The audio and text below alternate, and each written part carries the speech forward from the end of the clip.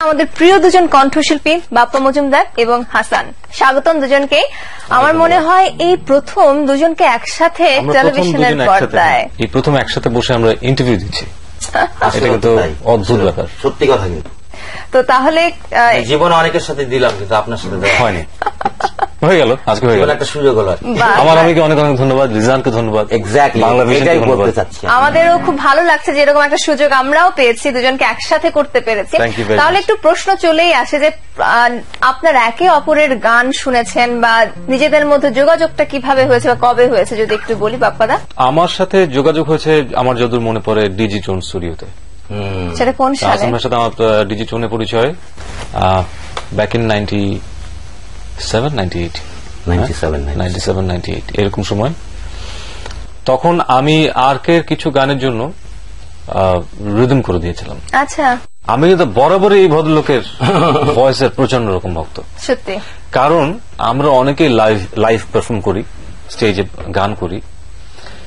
কিন্তু ওনার ভেতরে যে পাওয়ারটা আছে এবং এই পাওয়ারটা নিয়ে প্রপার পিচে গান করা ইটস রিয়েলি ডিফিকাল্ট সত্যি কথা যেটা হ্যাঁ আমার যেটা মনে হচ্ছে যে গান এনার্জিটা যেন স্প্রেড করে একদম। তো হাসান ভাইয়ের এরকম একটা কথা শোনার পর নিশ্চয়ই এটা শোনেন আপনি আরও অনেকে শুনেছেন। আপনার কি অনুভূতি আসলে আমি এর থেকে বেশি শুনতে চাই আর কি। এর মানে হচ্ছে যে অনেকে মনে করে মানে আমার কথাটার অর্থ মানে সবাই যে অ্যাপ্রিসিয়েশনটা সেটা সত্যি মাঝে মধ্যে লজ্জা লাগে মাঝে মধ্যে ভালো লাগে। ইয়ে লাগে ভালো লাগে। হ্যাঁ, মাঝে মধ্যে চুপ করে থাকি। কিন্তু সত্যি কথা বলতে গেলে যে ছোটবেলায় আহ, কখনো গান করিনি বা সে সুযোগ হয়নি। আহ, সামান্য গান শোনার সুযোগটাও ছিল না যখন আমি ফার্স্ট ইয়ার পর্যন্ত পড়ি আর কি ইন্টারমিডিয়েট আমার বাসায় গান শোনার সুযোগ ছিল না বলতে বোঝাচ্ছি হচ্ছে গান শুনতে দেওয়া হতো না। আচ্ছা, এই এই একটা অবস্টাকল ছিল সবসময়। তা আমি যে কোনোদিন গান গাবো এটা কেউ চিন্তাই করতে পারে না। প্রশ্নই আসে না সেই জন্য আমি অনেক লেট এই যে স্টার্ট করি। কিন্তু আমি সবসময় সাংস্কৃতিক অঙ্গনে কোনো না কোনোভাবে জড়িত ছিলাম। যেমন ছোটবেলা থেকে আমার কবিতা লেখার অভ্যাস ছিল আবৃত্তি করার অভ্যাস ছিল। তা আমার মনে হয় যে সেই বেসিকটার উপর বেস করেই মনে হয় আমার গানটা পরবর্তীতে আসে। কিন্তু আমি নিজেও আসলে জানতাম না যে একদিন আমি ভালো গান গাবো। বাপ্পাদার কাছে আসি। বাপ্পাদা শুরুতে আমাদেরকে বলছিলেন guitar is part of his body তো এই কথাটা ধরেই আমি শুরু করি একটু বাপ্পাদা। Please. বাপ্পা মজুমদার এবং গিটার একে অপরের সাথে কতটা মানে ওতপ্রোত ভাবে জড়িত? না guitar is a part of my life even আমি যখন কোথাও পারফর্ম করি যদি আমার হাতে গিটার না থাকে আমি প্রচণ্ড রকম অস্বস্তিতে পড়ে যাই। যাচ্ছে হাত দুটো নিয়ে কি করব? গিটারটা যখন হাতে খুব সুন্দর ভাবেই আছে তো একটা গান শুনেই ফেলি বাপ্পাদা।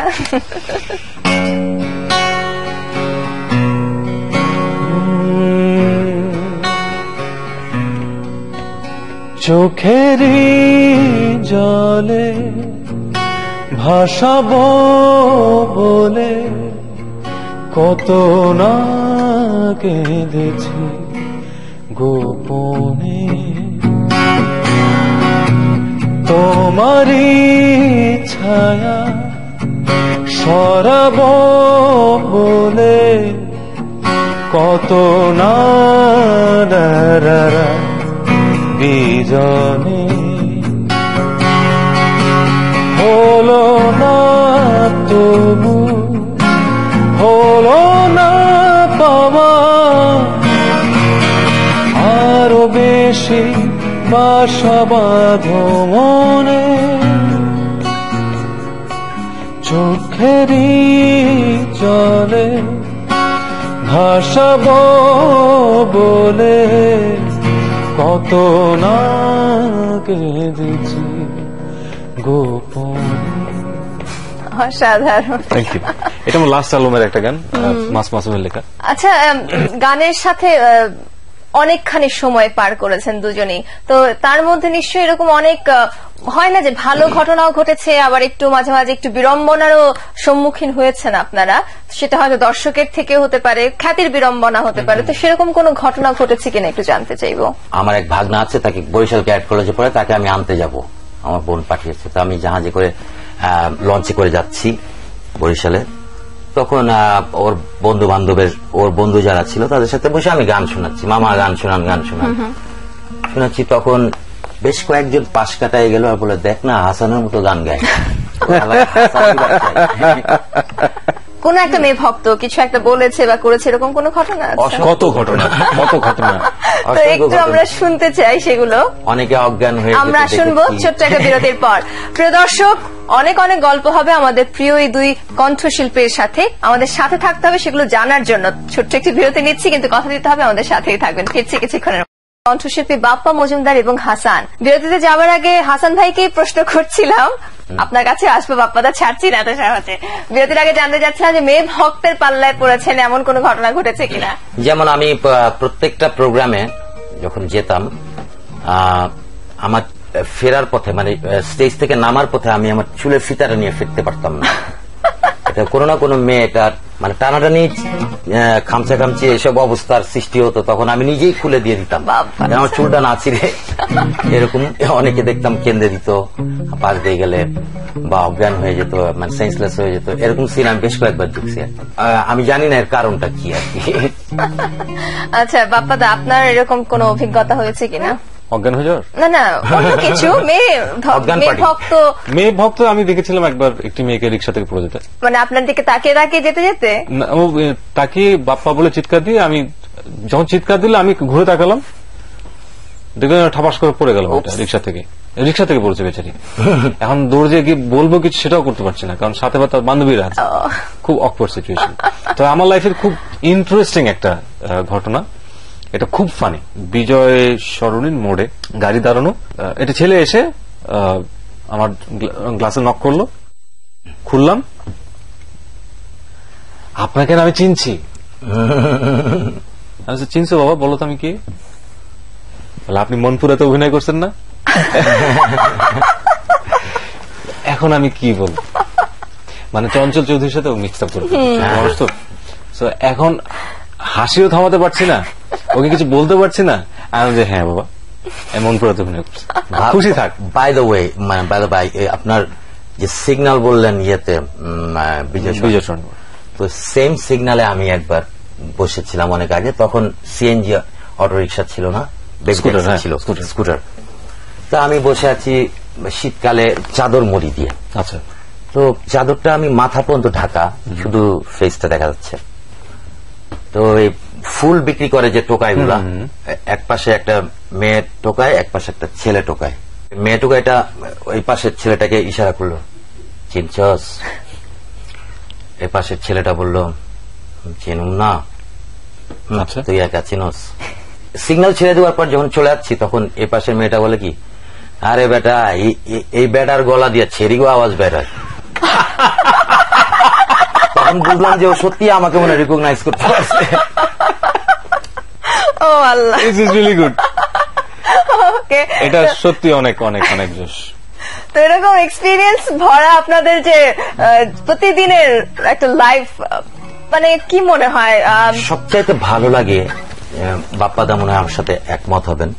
কিছু সাধারণ মানুষ কিছু খুব দরিদ্র মানুষ যারা আমাদেরকে দেখতে পায় না কাছে পায় না যাদের কাছে বেশি সারপ্রাইজিং আমাদেরকে দেখতে পাওয়াটা তাদের ভালোবাসাটা তাদের এটা এটা অমূল্য। আমার যেন গান গেয়ে জীবনটা সার্থক হলো। ওটা পেলে আর আমার এরকম একটা এক্সপিরিয়েন্স হয়েছিল এবং সেটা বলতে গেলে আসলে খুব আমি ভেতর ভেতর খুব ইমোশনাল হয়ে যাই। রিক্সা করে খুব শর্ট ডিস্টেন্স এমন বেশি ডিস্টেন্স ছিল না। রিক্সাওয়ালা ছেলেটিও আমাকে চেনে। আমাকে চিনলো। ভীষণ খুশি। দিন বাড়ি যায় দিন বাড়ি যায় এরকম। তো সে আমাকে তার রিক্সায় নেবেই। আচ্ছা। ঠিক আছে চলো। রিক্সা করে আমরা স্টুডিওতে আসলাম। ওকে আমি ভাড়াটা দিতে পারব না. সে আমার কাছ থেকে টাকা নেবে।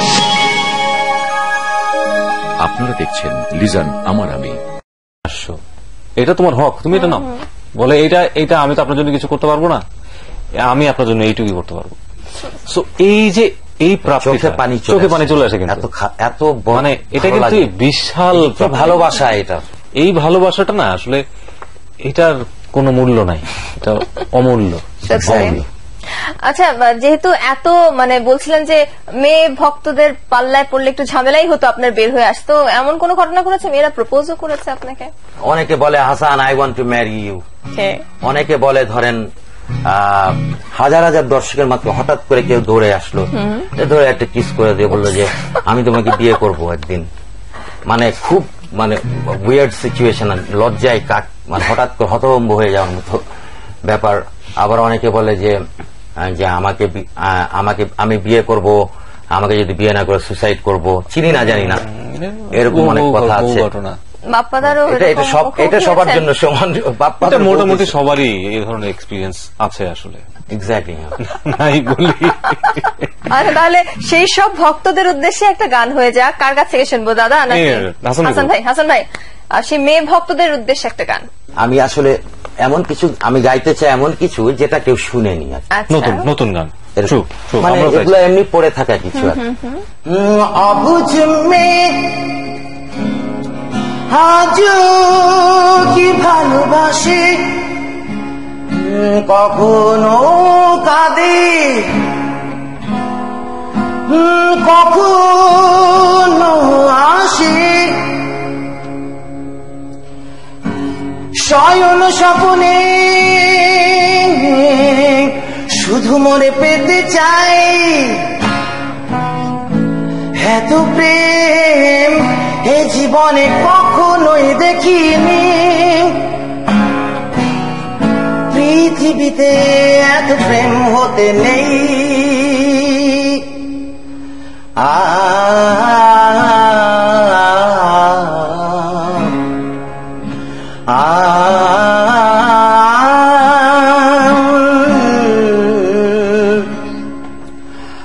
ভালোবাসা তার বিশাল আকাশ। কতটাই বাতাস করেছিল প্রকাশ। তার ভালোবাসা মানে কেউ না জানে।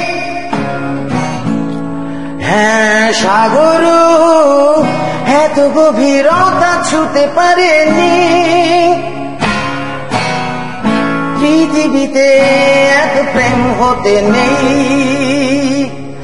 এতে দুঃখ পেতে হয়। লিঞ্চং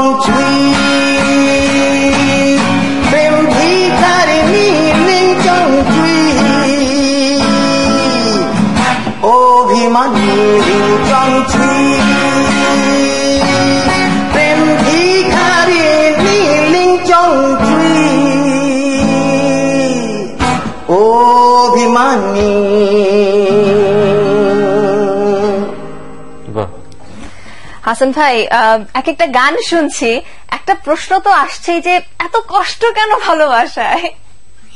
আসলে এত কষ্ট কেন ভালোবাসায় বোঝানোর জন্যই তো এই গানগুলো করতেছি। তো এই গানের মধ্যে। লিংচং ট্রিটাকে এটা হচ্ছে বিষয়টা এটা উত্তর নিচ্ছি ছোট্ট একটা বিরতির পর। প্রিয় দর্শক কথা বলতে বলতে দ্বিতীয় বিরতি নেওয়ার সময় হয়ে গিয়েছে। কথা দিচ্ছে খুব তাড়াতাড়ি ফিরবো। আপনাদেরকে কথা দিতে হবে আমাদের সাথেই থাকবেন। আসছি কিছুক্ষণ লিজান আমার আমিতে আর আমার সাথে রয়েছেন আমাদের প্রিয় দুজন কণ্ঠশিল্পী বাপ্পা মজুমদার এবং হাসান। হাসান ভাইয়ের কাছ থেকে আমরা গান শুনেছি বিরতির আগে সেখানে যে নামটি তিনি ব্যবহার করেছিলেন লিংচং চুই তিনি কে সেটা জানতে চাইছিলাম। অনেকে আছে যে বলে যে লম্বু সুমন হ্যাঁ যেমন বাপ্পা ভাইকে বলা যে গায়ক বাপ্পা নায়ক রাজ এর ছেলের নায়ক বাপ্পা আর একজন আছে। যে এই যে টাইটেলগুলা টোকাই সাগর আবি যাবি কমুক শহীদ গালকাটা কামাল আবি হ্যাঁ।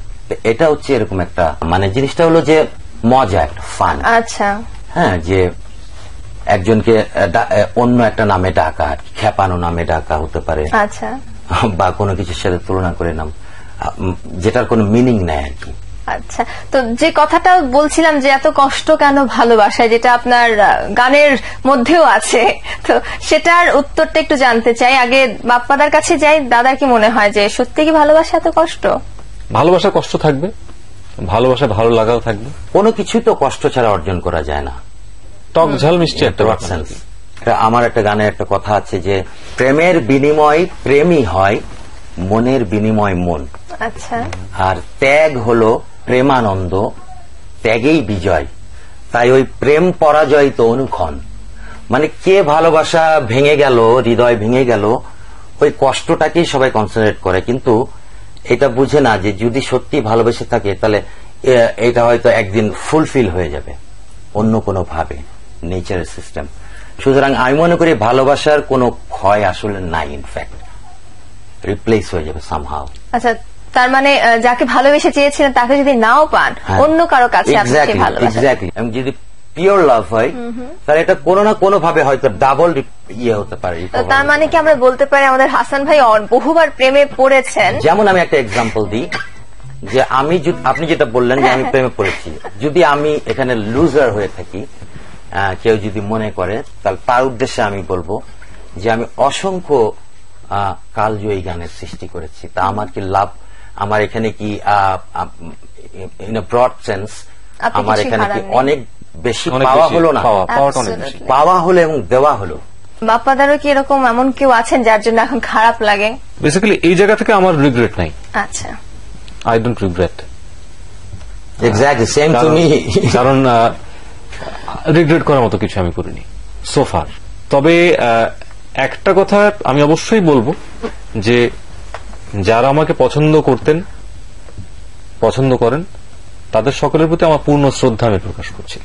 আই রেসপেক্ট সেই সব যাদেরকে আপনি শ্রদ্ধা ভরে বললেন যে তারা ভালো পেশেছেন হয়তো আপনি সেটা হয়তো রিপ্লাই দিতে পারেননি তো তাদের উদ্দেশ্যে একটা যদি গান শুনিয়ে দিতেন।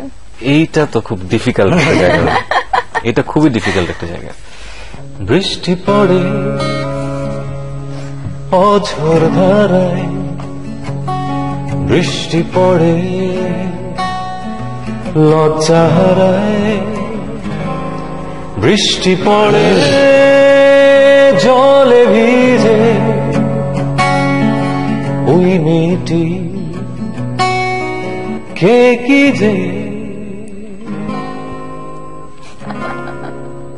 এতটুকুই অসাধারণ। আচ্ছা আহ, বাকিটা বুঝে নিতে হবে। এর ভিতরে আছে সব। আমরা ভাবছিলাম আরও কিছুক্ষণ আপনার গানের সাথে একটু ইন্টালজ হব। যাই হোক বৃষ্টি পড়ে মনে মনে বৃষ্টি পড়ে আলিঙ্গনে জোৎস্না রাতে নীল আকাশে ছন্দে তালে অঝোর ধারায় বৃষ্টি পড়ে অঝোর ধারায়। বৃষ্টি পড়ে লজ্জা হারায়। বৃষ্টি পড়ে জলে ভিজে। ওই মেয়েটি কে কি যে। থ্যাংক ইউ সো মাচ কথা বলতে বলতে তো আমাদের অনুষ্ঠানের শেষ পর্যায়ে চলে এসেছি। তো শেষ করব দাদা আরেকটি গান দিয়ে। আমি ফাঁকে একটু বিদায় নিয়ে নিচ্ছি। দর্শকের কাছ থেকে আপনাদের দুজনকে অশেষ ধন্যবাদ। আপনাকে ধন্যবাদ। আপনাকে প্রিয় দর্শক আজকের পর্বের তো সময় শেষ হয়ে গেল কিন্তু আগামী পর্বে আবারও হাজির হয়ে যাব আপনাদের প্রিয় কোনো তারকাকে নিয়ে। সে পর্যন্ত সবাই ভালো থাকবেন। আর হ্যাঁ আমাদের সাথে থাকবেন বাংলা ভিশনের সাথে থাকবেন কারণ আপনাদের জন্য আমরা প্রতিনিয়ত চেষ্টা করে যাচ্ছি নতুনত্ব কিছু নিয়ে আসার প্রোগ্রামে। এবং আশা করি সেই চেষ্টাটা আমাদের সফল হচ্ছে আর সেটা সফল হবে যদি আপনারা আমাদের সাথে থাকেন। সবাই ভালো থাকুন গানটি শুনব।